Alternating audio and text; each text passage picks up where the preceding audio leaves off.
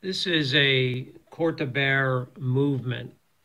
It is uh, from a watch that was uh, given to me for repair by a lady by the name of Nicole for Papa Jim, her grandfather.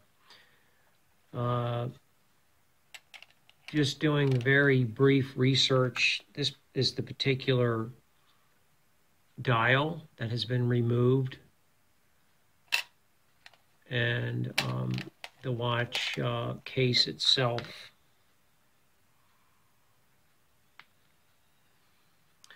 The reason I'm not uh, don't have finger cots on is because all of this will be cleaned. The watch did not work at all uh, when I received it and uh, was able to get the balance to turn after just providing a little oil to the end stones. However, at this point, I'm going to be uh, dismantling the movement, cleaning the parts, and then reassembling the movement. Uh, there's several markings on uh, the watch. It's a Bear watch company. It is a 17 uh, jewel unadjusted, uh, and it is Swiss made.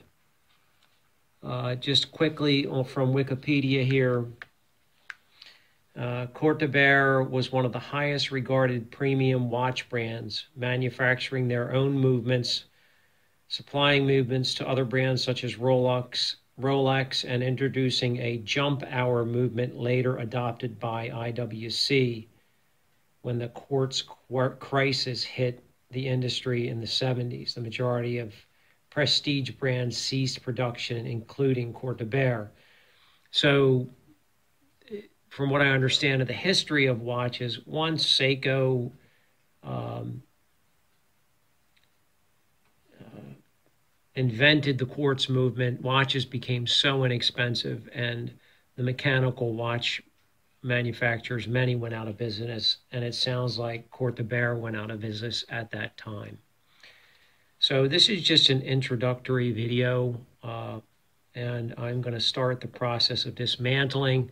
With this particular movement, I'm going to need to be very careful um, and uh, take a lot of pictures since I am unfamiliar uh, with this movement. The only mechanical movement I have dismantled uh, reassemb- cleaned, reassembled, and lubricated is the ETA 6497 and the ETA 6498. Stay tuned.